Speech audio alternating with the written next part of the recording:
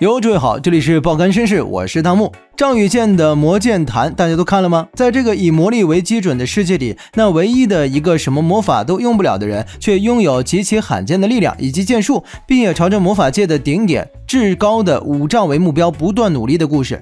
可以看出，本作拥有极高的作画质量。虽然有观众诟病原作或者设定，但是想到这是地错的作者，说不定在动画上会有意外的表现。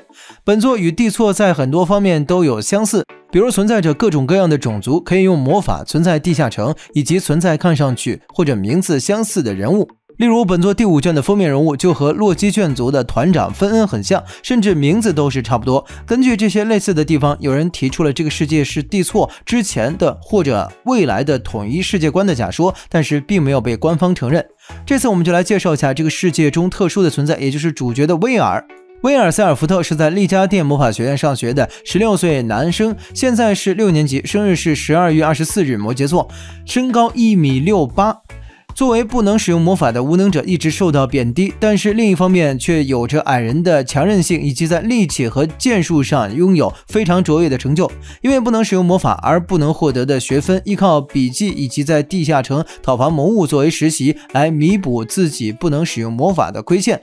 讨伐地下城魔物是可以获得学分的，而且越厉害的魔物击败获得的学分越高。虽然有时候也有高级魔物来到底层的特殊情况，但是普遍认知还是层数。越 高越危险，所以能去到多少层是由老师判断的。威尔虽然不会用魔法，连学校毕业都难，但是却有着至高的五丈的崇高，甚至是自不量力的目标，在老师和同学看来就是不可能的，所以给了他一个只会做笔记的优等生的称号，也就是书呆子。在这个每个人都会多多少少用一些魔法的世界，像剑士这样的基本已经不存在了。虽然被大多数人看不起，甚至是霸凌欺负，但也有极少数理解他的人，在他们的帮助下，就这样普通的。过着学院生活，所以本作的大致基调就是这样的。威尔向着至高的五丈前进，那他会怎样实现自己的目标？或者说他能否实现呢？至高的五丈是每个人羡慕的成就，但大多数人还是在普通的生活。那威尔这么特殊，为什么还是要有这个目标呢？原因就是因为喜欢的对象是至高的五丈之一。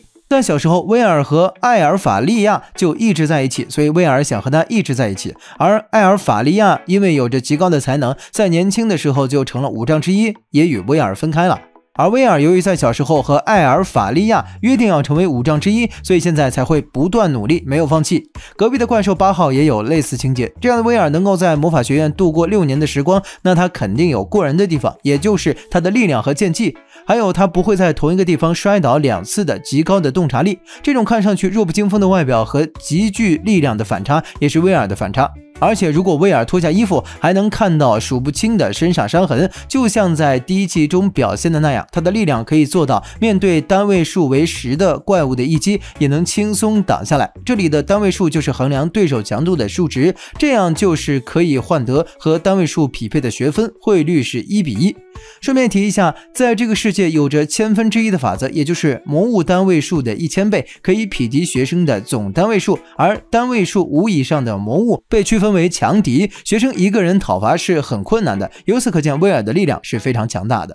另一方面，威尔的剑技有着如雷的一斩的评价，又快又强，而他的洞察力可以做到看到过的招式，第二次绝对可以躲开。另外，侦察敌人时也非常有用。虽然在精度和范围方面比不过锁敌魔法，但是不需要消耗魔力，没有使用限制，对锁敌魔法有抗性的魔物也可以找到。毕竟这是物理能力，而这样的能力与会使用锁敌魔法的人组队的话，会发挥一加一大于二的效果。在之后综合实习的时候，威尔。与其他学生组队时，他的能力发挥了很大的作用，获得了很多好评。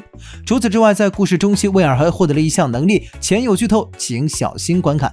在单行本第七卷的二十六话，威尔获得了可以使用第五元素的能力。运用这项能力，威尔可以把魔法装填到自己的剑里。而在第五卷的第十九话，威尔也有把魔法装填到剑里，使其变成魔剑的桥段。而这种情况在故事的中期会变成威尔的主要技能。当其他人释放魔法时，用剑挡住其魔法，就可以把魔法装填到剑里。然后给剑附魔对应的属性，这种能力目前还不知道原理，而且是只有威尔可以使用的技能。从还不能很好的控制，到现在可以控制输出的魔力量，在平时不战斗时可以降低输出，到了作战时再调高输出量。接下来讨论一下在威尔身上的几个谜团。威尔是在这个魔法世界唯一的战士，为什么这个世界不存在剑士呢？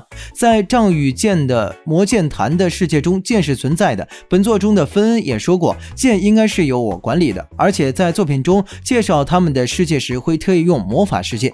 威尔他们存在的地方是由至高的五丈隔离出来的，对于外部的情况完全不清楚。外面也是魔法世界的可能性也有，但是在哪里存在着一个剑的世界也是非常有可能的。那么就像在魔法世界里用魔法师普遍的行为一样，在剑的世界只用剑术和武术也是很说得过去的。而威尔会不会就是从那个世界来的呢？虽然不能确定，但是威尔的设定是孤儿，并不清楚出处。现在只知道威尔和艾尔法利亚从小在一个孤儿院，关系。很好，以及会使用装填魔剑的技能，在之前的故事就不知道了。在回想中，有一个戴着兜帽的女性对他来说“醒来吧”之类的情节，所以至少威尔的过去和他会使用装填的能力一定是有关的。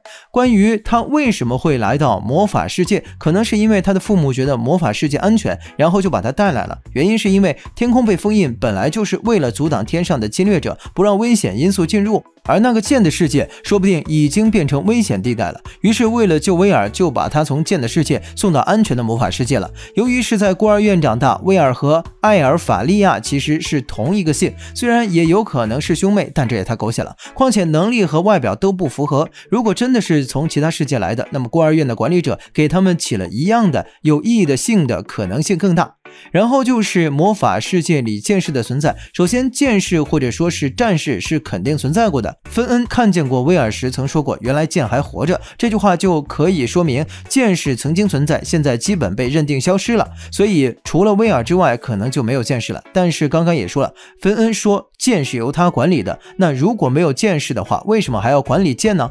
所以综上认为剑士还存在，只不过不在这个魔法世界里。那至于不在魔法世界存在了的理由，也。许是剑士与魔导士的对立，或者是魔法一方确实更占优势。在魔法普及之后，大家都去学魔法了，或者转职魔导士了。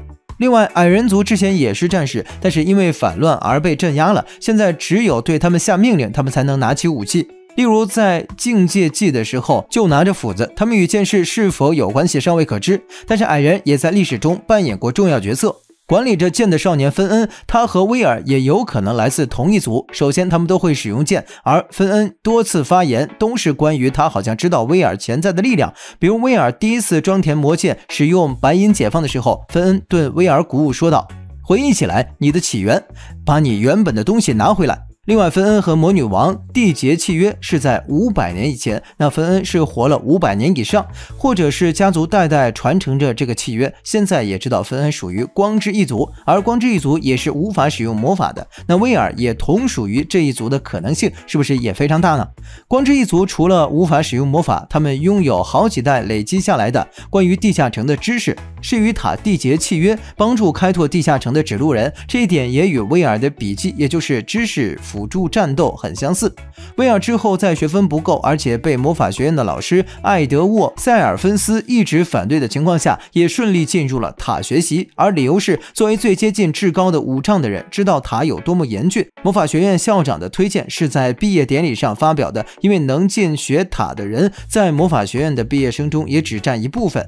对于其他人来说，进学的条件是七千二百单位，又或者是有两样新魔法的创造。